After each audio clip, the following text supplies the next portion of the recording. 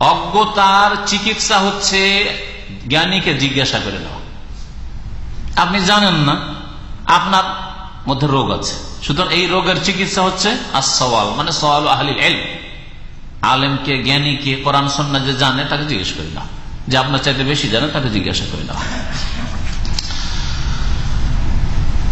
নবী করিম সাল্লাম তখন তাকে নামাজের শুরু থেকে শেষ পর্যন্ত বিশেষ করে যেগুলি ফারাইজ ফরজ, নামাজের রুকুন অজেবাদ ওগুলো শিখিয়েছেন। এই হাদিসে যে বিষয়গুলো উল্লেখিত হয়েছে, সেগুলো অধিকাংশ হচ্ছে রুকুন। নামাজের মধ্যে তিন রকমের বিষয় রয়েছে। নামাজের মধ্যে তিন রকমের বিষয় রয়েছে। আপনার সহজে যদি জানতে চান কোন কিতাবের মাধ্যমে, তাহলে হ্যাঁ আদরসুল মহিম্মা আরবি কিতাবের নাম, ছোট্ট একটা পুস্তিকা, শেখ রহমতুল্লাহ আলাই যার বাংলা অনুবাদ আমি করেছি। কিতাবটার নাম হচ্ছে জনসাধারণের জন্য গুরুত্বপূর্ণ শিক্ষা। তো, ওতে আপনারা পেয়ে যাবেন। বাকি এই বিষয়গুলি ফেকের কিতাবে আছে। ফতুয়ার কিতাবে আছে যে নামাজের মধ্যে প্রথম বিষয় হচ্ছে রুকুন। নামাজের রুকুন মানে নামাজের স্তম্ভ, নামাজের খুঁটি। নামাজের মধ্যে রুকুন হচ্ছে কতটি? চোদ্দটি মাসা আল্লাহ নিয়মিত ইসলামী সেন্টারের ক্লাসে আসলে এটা ফাইদা নামাজের রুকুন কতটি? চোদ্দটি, জানা আছে। চেষ্টা করলে গনে বলতেও পারবেন অনেকে, যারা নিয়মিত এখানে আসেন আর যারা নামকে অস্তে আসেন, মাস দু মাসে, তিন মাসে একবার আসলেন আর তারপরে বাইরে বলে পড়ে, না, আমি ইসলামিক সেন্টার যাই, নিয়মিত যাই। মানে মাস দুই মাসে একবার আসলে নিয়মিত যাই।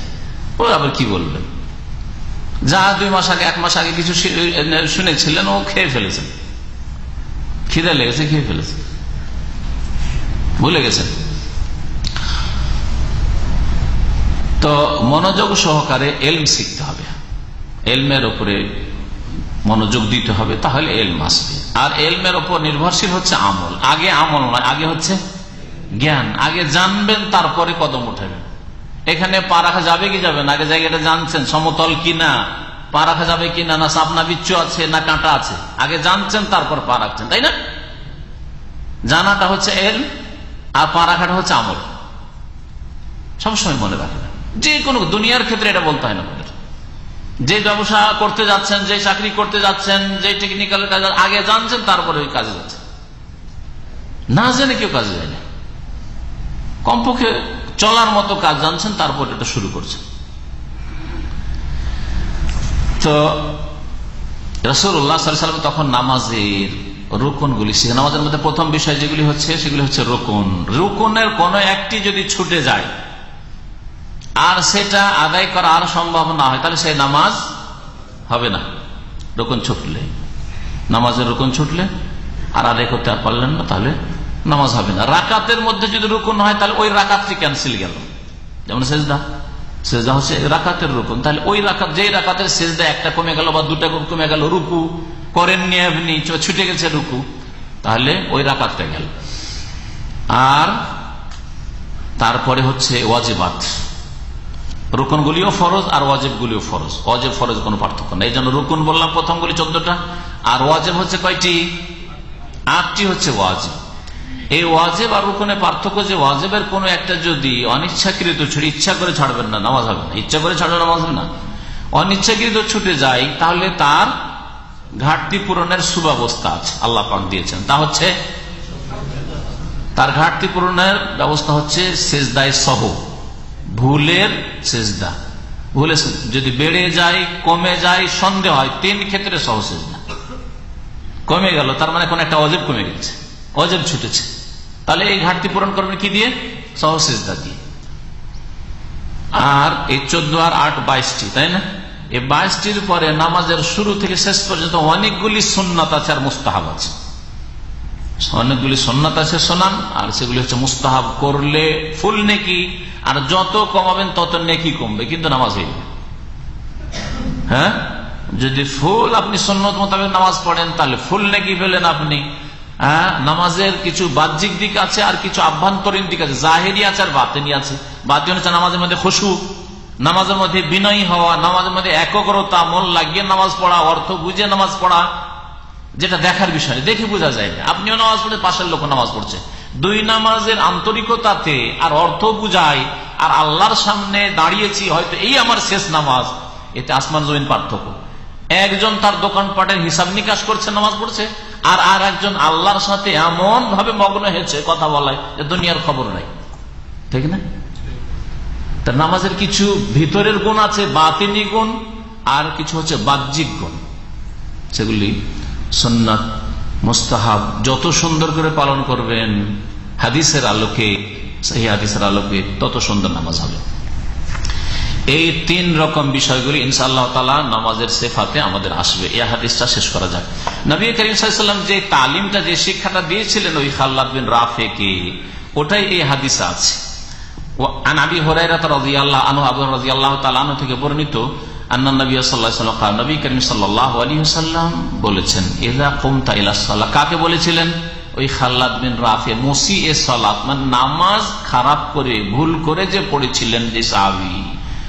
না জানার কারণে তাকে শিক্ষা দেওয়ার ক্ষেত্রে বলেছিলেন এদা কমতা ইলা সলাতে ফাঁস বেগিল অজু যখন তুমি নামাজের উদ্দেশ্যে দাঁড়াবে, তার পূর্বে তুমি অজুকে পূর্ণরূপে করো আসবাগা ইউসবেগ মানে পূর্ণ মাত্রায় সুন্দর করে অজু করা। আসবেগিল অজু অজু সুন্দর করে করো। তাহলে এতে নামাজের পূর্বে, নামাজ এখন শুরু হয়নি, নামাজ শুরু করার আগে কি করতে হবে? উজু করতে হবে। এটা শর্ত বর্ণনা করা হয়েছে। এটা হচ্ছে নামাজের শর্ত। নামাজের শর্ত কয়টি বলতে পারেন? নয়টি। মাসাল্লাহ নামাজের শর্ত নয়টি। তার মধ্যে একটি হচ্ছে উজু, তাহারাত, পবিত্রতা। সোম্মা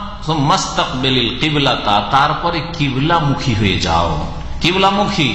নামাজ শুরু করার পরে মানে এত তকবির পরে হবে না আগে? আগে। নামাজের বাইরে যেগুলি হুকুম আছে, জরুরি, সেগুলিকে কি বলে, রুকন বলে না অন্য কিছু বলে? শর্ত বলা হয়। শর্ত। তাহলে উজু নামাজের জন্য শর্ত, রুকন বলবেন না। নামাজের বাইরে আগেই বলতে হবে। এইরকম কিবলামুখী হওয়া নামাজের জন্য শর্ত, নামাজের আগে কিবলামুখী হইতে হবে, তাকবির তাহরিমা দেওয়ার আগেই হ্যাঁ কিবলামুখী হইতে হবে। এমন নয় যে কিবলা তো এইদিকে। আপনি একটু এদিকে ডান দিয়ে কাজ করে আসেন তারপরে আল্লাহ আকবর বলে দিকে হইলেন চলবে না। তকবির তাহরিমা দেওয়ার আগে কেবলামুখী হয়ে যেতে হবে। তারপরে কি করো?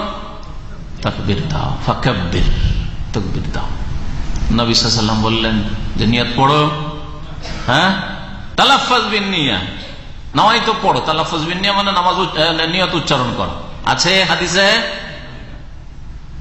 কোন যদি বলে যে নিয়ত পড়া মুস্তাহাব, তাহলে তাকে বলেন যে আপনার মত পর্যন্ত সময় দিয়েছে শেখ আপনার মত পর্যন্ত সময় দিয়েছে, এক বছর, দু বছর না। মরা পর্যন্ত সময় যে কোন একটা হাদিসে নামাই তো পড়া আছে। যতদিন বাঁচেন সময় থাকবে। একটা হাদিস দিতে হবে একটা হাদিস দিতে হবে। চলেন জয়ীফ হাদিস। আর একটু ডিসকাউন্ট দিল। জয়ীফ হাদিস দলিল নয়, তারপর নেই সেই জন্য দিলাম সুযোগ না হলে দিতাম না, কারণ জয়ীফ হাদিস দলিলই নয় আসলে। দুর্বল। যে বিশ্ব সূত্রে প্রমাণিত হইল না, ও দলিলই নয় আসলে। তারপরে যেহেতু নাই, জয়ীফও নেই সেই জন্য একটু ছাড় দিলাম। হ্যাঁ। জাল বানিয়ে নিতে পারে। জালের দরজা কেমন পর্যন্ত খোলা আছে। আচ্ছা তারপরে আসবে। আপনার আর একটা আমাদের দেশে প্রচলিত নতুন কাজ আছে, সেটা হচ্ছে তকবির তাহারিমার আগে আর কি করে? তো আগে পড়েন না তো আগে পড়ে নামাজের আগে। তাহলে তাদের নামাজ আমাকেও শিখতে হবে, বলার জন্য আপনাদের কারণ এই নামাজটা হাদিসে নাই, সুতরাং পাইনি। তো জায় নামাজের দোয়া পড়ার নেই, আসছে ওই দোয়া, কখন পড়তে হবে তখন ইনশা আল্লাহ তালা আগামী সপ্তাহে বিস্তারিত শুনবে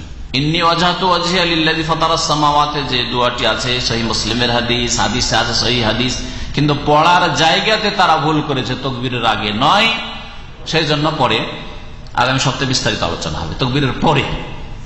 সানার জায়গায়। ব্রেন খুললেন, তাহলে বুঝতে পারবেন যে কোনখানে ভেজাল আছে। হ্যাঁ? ভেজাল এই সৌদি আরবের কোরআন হাদিসের শিক্ষাতে এখানে ভেজাল আছে না দেশে? যে শিক্ষা, সে ভুল শিক্ষা দেওয়া হচ্ছে, ভেজাল আছে, বুঝতে পারবেন তাহলে? যদি নিয়ত পড়তে হয় তো সবকিছুতে পড়তে হবে হ্যাঁ? সমস্ত নেক আমলে পড়তে হবে। বাপমার কাছে টাকা পয়সা ড্রাফ করছেন, এখানে সাংবাদিক পাশে ড্রাফ করছেন। না হয়তো পড়েন না? কেন না হয়তো পড়েন না? ওটা নেকির কাজ সবের কাজ নাই বরং ওটাও তো ফরজ। বাপ মায়ের সেবা করা, বাপ মায়ের খেদমত করা, বাপ মায়ের কাছে এলাজের জন্য, খাওয়া দাওয়ার জন্য টাকা পয়সা পাঠানো ওটা হতেই পারো নাকি? অবিল ওয়ালেদান এহসানা এবাদতের পরে আল্লাহ বলেছেন আল্লাহ তাবুদুল্লাহ ইয়াহু। অবিল ওয়ালেদান এহসানা, তো ওয়ালেদানের সাথে এহসান করার জন্য তো টাকা বাড়িয়েছেন যাই হোক নবী করিম সাল্লাহ আলিয়াল্লাম কি শিখালেন ওই লোককে? ফাক্কাব্যের তকবির দাও। নামাই তো শিখাননি, ইকতাদায় তো বেহাজ আলিমান শেখাননি, আনা ইমাম উল্লেমান হাজার আমল একাই নামাজ শুরু করেছে ওই লোকটি। দেখো, এটা বইলে শুরু করো, কারণ হইতে পারে তোমার পিছনে কেউ আসতে পারে। ঠিক কিনা? টিভিতে যেসব ইসলামিক টিভিতে, বাংলাদেশে কয়েকটা ইসলামিক টিভি, ইসলামের নামে টিভি আছে। তো ইসলামিক টিভিতে যেসব বক্তারা আসছে আর আবার অনেকে তাদের মধ্যে বিদাতপন্থী আছে যারা নিয়ত পড়া সমর্থনে আছে। তাদেরকে জিজ্ঞাসা করছে, আপনারা তো ওখানে নেকির কাজে আসছেন। তো ওখানে বলছেন যে আনামুদার রেশন লেমান হাজারা টিভি অমাল নামে হাজার। আমি আলোচনা করছি, যারা টিভিতে এখন হাজির হয়েছেন, টিভির সামনে, পর্দার সামনে, আর যারা এখন আসেনি, কিছুক্ষণ পরে আসবে, দশ মিনিট যাওয়ার পরে তাদেরও আমি দরজ দিচ্ছি, তাদেরও ইসলামিক আমি স্পিচ দিচ্ছি। বলছেন তারা, কেন বলেন না? আল্লাহ যেন তাদেরকে বুঝার তৌফিক দান করে ওইখানে বলা লাগে না আর নামাজে বলা লাগে। এর আগে বলেছি, জাকাতে কোনো ব্যক্তি বলে না। জাকাত দেওয়ার সময় বলে যে না একটু জাকাতা তো নামাজ যেমন ফরজ, জাকাত এরকম ফরজ। শুধু নামাজে বলেন আর রোজাই বলেন, আর হজে বলেন। কলেমা পড়াই বলেন আমি নিয়ত করছি কলেমা পড়ার। হ্যাঁ? বলছেন কখনো? অথচ কালেমা পড়া হচ্ছে ইসলামের প্রথম রুকুন নামাজের আগে। নবী সাল্লাম তকবির দিয়ে নামাজ শুরু করতে বললেন ফাক্কাবির তকবির দিয়ে নামাজ শুরু করো। আর নিয়ত করতে হবে, নিয়ত যখন বললাম নিয়ত করতে হবে, নিয়ত পড়তে হবে না। নিয়ত করতে হবে, নিয়ত করাটা নামাজের আগেই, তো ওটাও একটা শর্ত, ওটা একটা শর্ত। আর নিয়ত অন্তরে করবেন। আর যখনই আপনি নামাজের জন্য দাঁড়াচ্ছেন তখন আপনার মনে এমনিতে অটোমেটিকলি নিয়ত হচ্ছে হ্যাঁ? নিয়ত মানে অন্তর সংকল্প ইচ্ছা। ইচ্ছা কি? আমি এখন নামাজ শুরু করতে যাচ্ছি, তাই না? এর নাম হচ্ছে নিয়ত আসলে। আলাদা করে ওর জন্য দশ সেকেন্ড সময় দিয়ে দাঁড়াইতে হবে। তারপরে না, পাঁচ সেকেন্ডও নেই ওর জন্য। এমনিতে যেমনই দাঁড়াচ্ছেন, একামত হলো, দাঁড়িয়েছেন, অথবা নিজে একা নামাজ পড়ছেন, দাঁড়িয়েছেন, কেবলা মুখ হয়েছেন, তখনই যে নিয়তটা হচ্ছে, আমি কি করছি এখন? ওটার নামই হচ্ছে নিয়ত। এর জন্য পৃথক আলাদা সময় লাগেন এই নিয়ত অবশ্যই আছে। অন্তরের নিয়ত করা অন্তরের সংকল্প, ইচ্ছা করা, এটা শরীয়ত আছে। ফাকাব্যের নামাজ শুরু হবে তকবীর থেকে।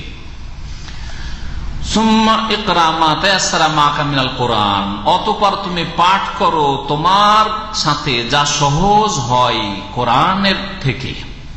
কোরআনের যে অংশটুকু তোমার জন্য সহজ হয় তা পাঠ করো। এখানে একদল সুযোগ পেয়ে গেল। যে কোরআনে যা সহজ হয় তাই পাঠ করতে বলা হয়। তাহলে সুরা ফাতেহা পড়া ফরজ নাই সুরা ফাতেহা পড়া রুকুন নাই অজিব তাদের কাছে। এমামের জন্য পর্যন্ত তাদের কাছে সুরা ফাতেহা পড়া ফরজ রুকুন নাই সুতরাং এমামও যদি সুরা ফাতেহা না পড়ে, তাদের নামাজে কি করে? তকবির দিল আর দেওয়ার পরে যদি কোরআনের যেই কোনো জায়গা থেকে ছোট্ট তিনটি আর রহমান আল্লাহ আল কোরআন খালাক আল ইনসান, আল্লাহ রুকুতে চলে গেল, নামাজ হয়ে যাবে তাদের কাছে। বুঝতে পেরেছেন? কিন্তু মনে রাখবেন যে একটি আয়াত আর একটি আয়াতের তফসির করে। একটি হাদিস আর একটি হাদিসের তফসির করে। ভালো করে মনে রাখবেন। এই হাদিসের শেষে আসছে, আবু দাউদে আছে কিতাব। ওই ব্যক্তিকে নবী করিম বলেছেন, অতপর তুমি পাঠ করো, তকবির দেওয়ার পরে অম্মুল কিতাব। অম্মুল কিতাব কাকে বলে? কিতাবের মা। বা কিতাবের মূল উম্মন মানে মাও হয় উম্মন মানে মূল। শেকড় কিতাবের মূল হচ্ছে সুরা ফাতিহা। কোরআনে কেরিমের মূল যা দিয়ে শুরু হয়েছে, আর কোরআনে কেরিমে যা কিছু আছে তার দিকে সুরা ফাতিহা ইঙ্গিত আছে। হক বাতিল লড়াই, হক থাকবে, বাতিল থাকবে দুনিয়াতে। হক পন্থী পুরস্কৃত, আর বাতিল পন্থী গজব প্রাপ্ত আর গুমরা দল্লিন আল্লাহ সুরা ফাতিহা উল্লেখ করেছেন। আর এই বিষয়টা গোটা কোরআনে কেরিমে পেশ করা হয়েছে। হক পন্থীরাকে আল্লাহ সম্মানিত করেছেন নো আলি ইসলাম ইব্রাহিম আলী ইসলাম মুসা আলী ইসলাম ইসা আলী ইসলাম বাতিল পন্থী নোহের জাতি, আদের জাতি, আদ জাতি, সামুদ জাতি লুত আলি সাল্লামের জাতি, তারপরে আপনার ফেরাউন ইত্যাদি সবগুলিকে বাতিলপন্থী আল্লাহাক তাদেরকে ধ্বংস করেছেন। তাদের ঘটনা বলি আল্লাহ কোরআন বয়ান করেননি। তাহলে সুরা ফাতেহা এই জন্য গোটা কোরআন একটি হাদিস আর একটি হাদিসের ব্যাখ্যা করে। তারপরে হাদিসের ক্ষেত্রে মহাদিস কেরামদের নিকটে রেওয়ায়ত বিল মানা। মানে নবী সালাম যেই শব্দ বলেছেন, সেই শব্দই বয়ান করতে হবে। তার বিকল্প শব্দ মানে তার অর্থ পেশ করা যাবে না, এমন কড়া শর্ত লাগানো এইরকম শক্ত শর্ত লাগালে অনেকে হয়তো নবী সালামের শব্দটা মুখস্থ রাখতে পারেনি। কিন্তু ভাব অর্থ জানা আছে। ভাবটা পেশ করতে পারবে কিন্তু শব্দ পেশ করতে পারবে না। তাহলে হাদিসটা ভয়ে বয়ানই করতো না। তাহলে হাদিসটি থেকে যেটা আমাদের কাছে পৌঁছিত না। বুঝতে পারছেন কথা? যেমন উদাহরণ দিই। আমি যে ভাষা দিয়ে বলছি, সেই ভাষা দিয়ে আপনি আমার কথাটা পেশ করতে পারবেন, কিন্তু আমার কথাটা, ভাবটা আপনার ভাষা আপনি পেশ করে দিতে পারবেন। হ্যাঁ? একটা দুটা বাক্য যদি আপনার কখনো পেশ করতে বলা হয়। যেমন আমি বললাম নামাজের রুকুন সম্পর্কে। হ্যাঁ? নামাজের শর্ত সম্পর্কে, নামাজের অজেবাদ সম্পর্কে। আমি হু যেই ভাষা দিয়ে বলি, সেই ভাষা দিয়ে জটিল পেশ করা। কিন্তু আপনাকে যদি বলা হয় যে নামাজের রুকুন কয়টা, তো আপনার ভাষা আপনি পেশ করে দিতে পারবেন। কারণ শুনলেন একটু আগে। ঠিক না? এতে বলে রেওয়ায়ত বিল মানা মানে ভাবটাকে রেওয়ায়ত করা, বর্ণনা করা। তো মহাদিসের আমরা ভাব নবীলামের কথার ভাব বর্ণনা করাকে জায়জ করেছেন সুরা ফাতেহা পাঠ করো, এরই ভাব হচ্ছে, বিকল্প শব্দ হচ্ছে, যা সহজ হয় তা পাঠ করো। দুটোতে কোনো বিরোধ নেই। দুটোতে কোনো বিরোধ নেই। কেমন করে বিরোধ নেই? এই জন্য বিরোধ নেই। যে ভাষ্যকারগণ অলমাই কেনাম বলেছেন যে সবচাইতে সহজ সুরা হচ্ছে সুরে ফাতেহা। সবচেয়ে সহজ সুরা হচ্ছে সুরে ফাতেহা। কারণ নবিসাল্লাম এক হাদিসে বলেছেন যে সুরা ফাতেহা পাঠ অম্বুল কিতাব পাঠ করো। আর এক হাদিস আছে মিনাল কোরআন, যা সহজে পাঠ করো। তাহলে একটা হাদিস আর এক হাদিসে তফসির করে, সুতরাং সবচাইতে সহজ আমরা ধরবো কি? সুরায় ফাতেহা। আর এটা বাস্তব। এটা ছোট ছেলেকে আপনি সুরা শিখাতে লাগেন, প্রথম কোন সুরা মুখস্থ করেন? সুরা ফাতে এটা নিউ মুসলিমকে আমরা মুখস্থ করাই। সুরা এখলাস নাচ ফালাকের আগে সুরা ফাতে মুখস্থ হয়। সুরা ফাতে মুখস্থ হয়। সুরা ফাতে সবচেয়ে সহজ সুরা আল্লাহ পাকের নিকটে। জি। জারি আল্লাহ পাক কোরআন করিম শুরু করেছেন।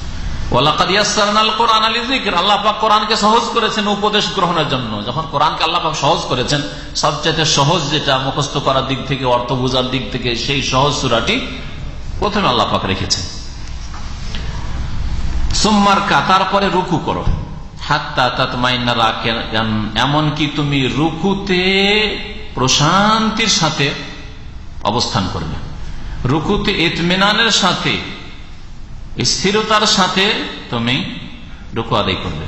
সোম্মার ফা তারপরে তুমি মাথা উঠাও রুকু থেকে। হাত্তা তাতা দেলা কায়মান। এমনকি তুমি সোজা তাতা দেলা মানে সোজা হয়, এতে দাল আর কায়মান মানে দাঁড়ানো, সোজা হয়ে দাঁড়াবে। তাহলে রুকু থেকে উঠে সোজা দাঁড়াইতে হবে। রুকু থেকে উঠলেন প্রথম কথা, রুকু তাতমাইন্না রাখেন রুকুতে এমন ভাবে রুকু করতে হবে যাতে মাথা, পিঠ বরাবর হয়। এইরকম রুকু অনেকের।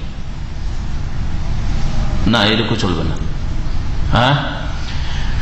তারপরে রুকু থেকে উঠে সোজা দাঁড়াইতে হবে তাতা দিলা কায়মন সুম্মাসুদ তারপরে সেজদা করো। হাত্তা তাতমাইন্না সাজেদান, এমনকি সেজদাতে তুমি প্রশান্তি গ্রহণ করো। ইতমিনানের সাথে, ধীর স্তরের সাথে রুকু, এই সেজদাতে থাকেন। তাহলে সেজদায় গেলেন, মাথা ঠেকালেন, আর উঠে গেলেন না, এরকম চলবে না। সোম্মারফা, তারপরে সেজদা থেকে মাথা ওঠাও। হাত্তা তাত মাইন্না জালেসান, তারপরে ধীর স্থিরতার সাথে ইতমেনার সাথে বসো। তাহলে দুই সেজদার মাঝখানেও বসতে হবে ইতমেনানের সাথে। সেজদা থেকে একটু উঠে আবার সেজদা। একটাই সেজদা গণ্য হবে। যারা সেজদা থেকে একটু উঠল, অর্ধেকটা উঠল, বসেনি, আর আরেক সেজদা দিয়ে দিল, একটি সেজদা গণ্য হবে, দুটো সেজদা নয়। ওলামাইকারদের নিকট। কারণ নবী সাল্লাম ইতমিনার সাথে বসতে বলেছেন সুম্মাসচু তারপরে সেজদা করো হাত হাত মাইন্না সাজেদান। এই দুই সেজদা করতে হবে, কিন্তু হাদিসে সংক্ষেপ করা হয়েছে। সুম্মা ফালফি সাল্লাতে হা তারপরে তোমার পুরো নামাজে মানে এক রাখাত নামাজের বাহ্যিক আমলগুলি শিখিয়ে দিলেন। এখানে নবী করিম ভিতরে কি পড়তে হবে, না হবে ওই সব হ্যাঁ তসবির, রুকুর তসবির সেজদার দুই সেজদার মাঝখানে, তারপরে রুকু থেকে উঠিয়ে, এসব কিছু শেখাননি। এটা পুরো নামাজ আখরাজাহুসাবা এই হাদিসটি সাতজন মহাদ্দেশ বর্ণনা করেছেন। কে? ইমাম ইবিন হাজারের নিকট লেখকের নিকট সাতজন ইমাম বললে, ইমাম আহমদ আর তারপর ছয়টি কিতাবের সংকলক। ইমাম বুখারি, মুসলিম, আবু দাউদ, নাসাই, তিরমিজ, ইবিন সাতটি কিতাব আছে। বুখারি, শব্দগুলি বুখারি। তাহলে শব্দের পার্থক্যের সাথে আছে, কিন্তু মোটামুটি কাছাকাছি। ইবনে মাজা ইবনে মুসলিম মুসলিমের